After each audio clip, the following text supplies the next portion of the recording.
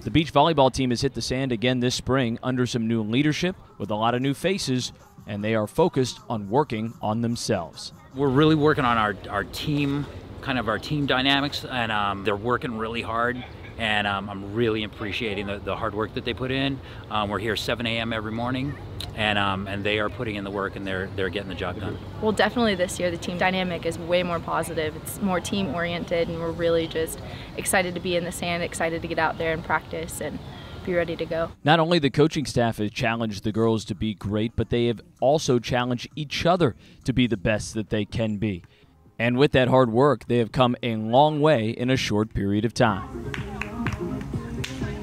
well, if I can be biased, my beach partner, Shaylee Beefus. Um, she's definitely out there grinding every day, early to practice, extra reps when we can. It's, it's really an exciting experience. A lot of the indoor girls, um, you know, the, the, crossovers this is the first time that they've um, that they've played in the beach, and I think that they've really stepped up their game.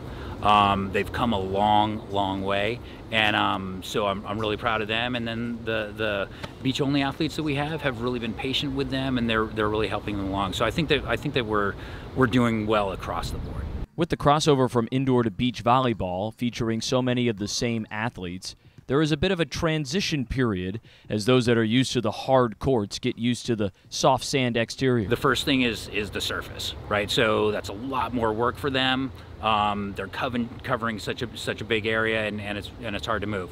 Two, there's only two of them, right? And so that's an enormous enormous area, and they have to figure out how two people can can cover what they're used to six six people covering, right? And then the third thing is the elements, right? And so you got this wind, you have sun. Um, and it's a it's a lot to take in. So the fact that they are actually taking it on and taking that challenge is really impressive. With so much news surrounding the program, the focus is on the attainable, getting better every day. And head coach Darren Roberts just wants to see growth.